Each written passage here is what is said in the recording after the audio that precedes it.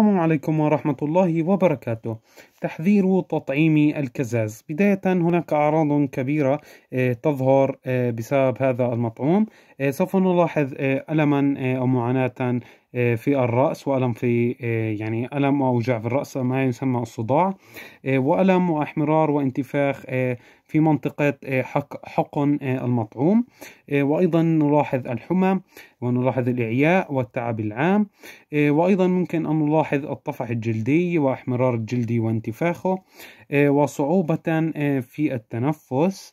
أو مشاكل أخرى قد نلاحظها في الجهاز التنفسي التنفسي وأيضا قد نلاحظ الغثيان والتقيؤ وأيضا الإسهال ومخص البطن الشديد ومن الممكن أن نلاحظ الدوار وانخفاض ضغط الدم وازدياد في سرعة نبضات القلب. نتمنى لكم دوام الصحة والعافية.